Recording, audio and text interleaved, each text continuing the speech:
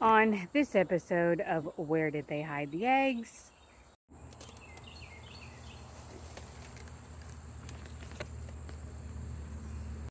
It's a pretty bluish green.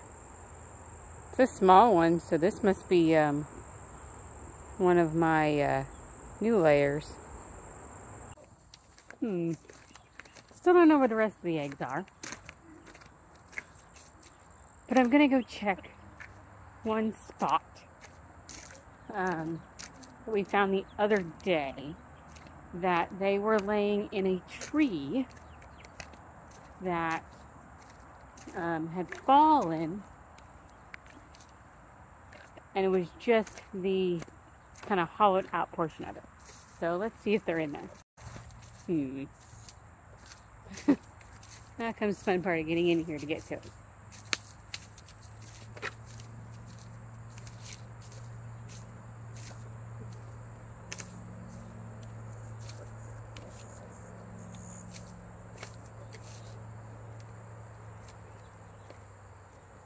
Oh, bummer. Nothing. But that's where they've been laying. Well, the saga continues of where did they hide the eggs?